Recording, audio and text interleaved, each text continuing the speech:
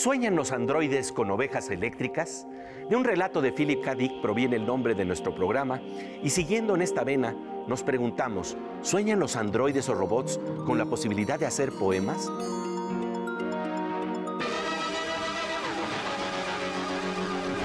En 2022, la oveja eléctrica cumple 17 temporadas al aire que han consolidado a este programa en el gusto de un público cada vez más amplio que aprecia la calidad de narración de las historias de la ciencia y del mundo del arte que transforman nuestros horizontes. Que a los niños se les debería de enseñar ciencia desde, desde muy parvulitos, desde pequeños, porque la alegría que yo he visto en mis nietos cuando ponen una lupa, agarran una lupa y se les prende con un rayo de sol una hojita y se incendia, y el asombro que les causa, yo creo que se sienten un poco dioses. Muchos astrónomos, los mayas, por ejemplo, utilizaban espejos de agua.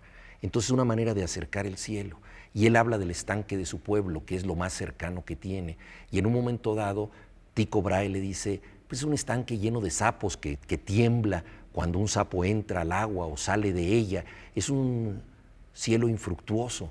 Y él le contesta a Kepler, el estanque de mi pueblo es el cielo. El colisionador de hadrones, el gran colisionador de hadrones, quizá eh, comienzo por decir qué es. Es, una máquina gigantesca, es ah, eh, la máquina científica más grande que se ha construido en la historia de la humanidad y ahí se ha construido un acelerador que lleva los protones y iones de plomo a la más alta energía jamás lograda. México participa en el experimento ALICE, en, eh, eh, recreando esos pequeños Big Bangs, haciendo colisiones de iones pesados en donde se genera un plasma de quarks y gluones, que es la materia primordial de la que provenimos. En esta su temporada 17, en alianza entre CONACIT y Canal 22, presentaremos los avances del mundo científico y tecnológico que hoy en día impactan de manera importante la creación de una sociedad de imaginación y conocimiento que México necesita.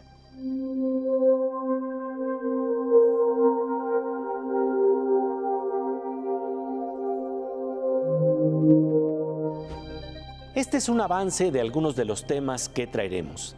Entre los proyectos de ciencia de frontera que impulsa CONACIT, conversaremos con Yuridia Cortés, doctora en matemáticas por la UNAM, e investigadora del Centro de Investigación en Matemáticas en Yucatán, en torno a, modelos matemáticos no convencionales en sistemas biológicos. Dentro de la biología hay un área que se llama biología de sistemas, en la que justamente se ve el problema biológico como un sistema complejo en donde hay muchas partes que están interactuando entre sí la idea es trabajar en problemas biológicos, hacer experimentos numéricos y simulaciones en la computadora que nos dan información que nos sirve después para llevar a cabo experimentos en el sistema biológico real. Este tipo de enfoque permite descubrir mediante modelos matemáticos las narraciones recurrentes en la novela de la biología, los leitmotifs de sus redes complejas Uri Alon, investigador del Instituto Weizmann, lo explica así.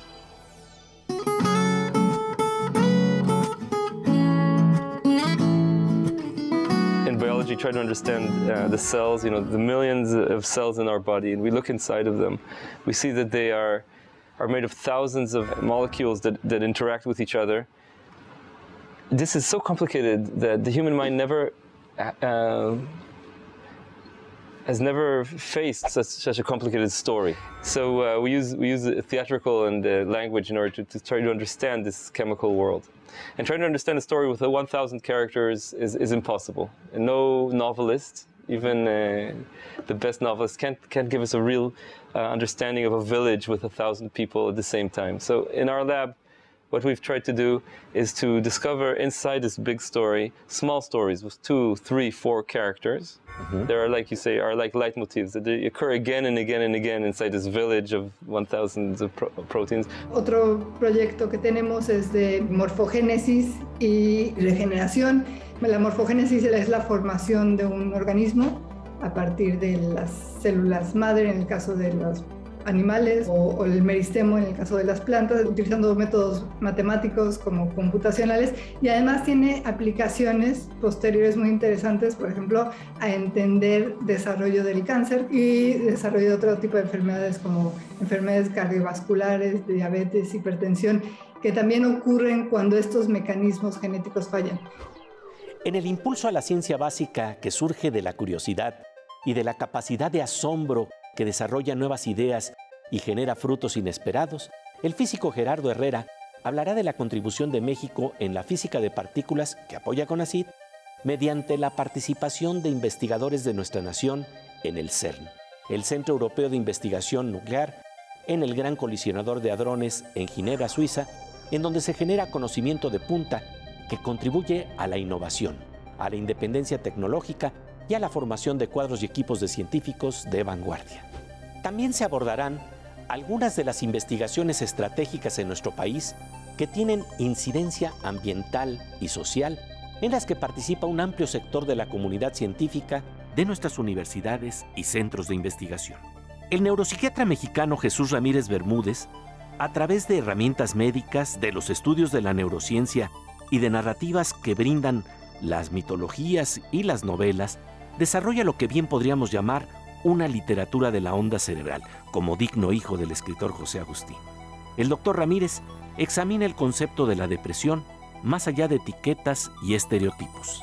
A mí me interesaba mucho en el libro esa génesis mitológica eh, de, la melancolía, porque me, parece que aunque, aunque es una historia meramente literaria, no tiene una validez científica, de todas maneras me parece que nos habla mucho acerca de cómo se va gestando en nuestra cultura eso que el libro a veces le llama dolor social y que tiene que ver con la instauración de ciertos grupos patriarcales que además em, expulsan, em, desalojan, desterritorializan a otros grupos humanos.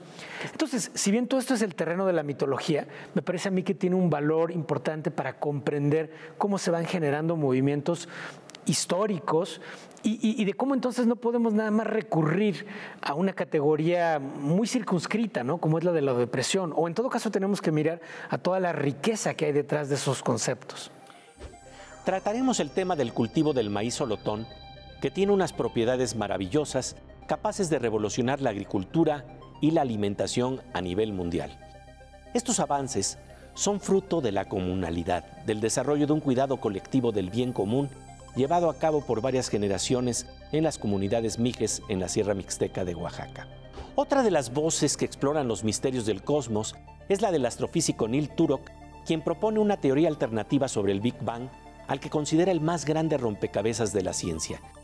Turok dirige el Instituto Africano de Ciencias Matemáticas porque piensa que no hay mejor lucha en contra del racismo que dar oportunidad de descubrir el genio que habita en todas las culturas, en el piso parejo de la educación de niñas y niños que revoluciona el conocimiento con la elegancia y belleza de lo simple que transforma nuestra relación con la naturaleza.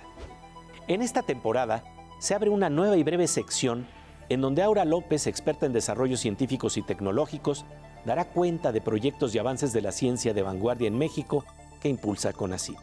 Como ya es tradición, contaremos con la sección Aguas con el Hacker, en la que el doctor en física Manuel López Michelone, la Morsa, nos habla de las innovaciones y retos del mundo del cómputo y de las redes informáticas. Por su parte, en la sección Veo Veo, la poeta Miriam Moscona nos adentra en los universos paralelos entre el mundo del arte y de la ciencia. Y en la sección Cantos Cuánticos, Fernando Rivera Calderón musicaliza con humor los grandes temas científicos para facilitar su comprensión, para facilitar que se aprecien como parte de nuestra cultura popular. El Big Bang todavía sigue aquí. El Big Bang todavía sigue aquí. El Big Bang todavía sigue aquí.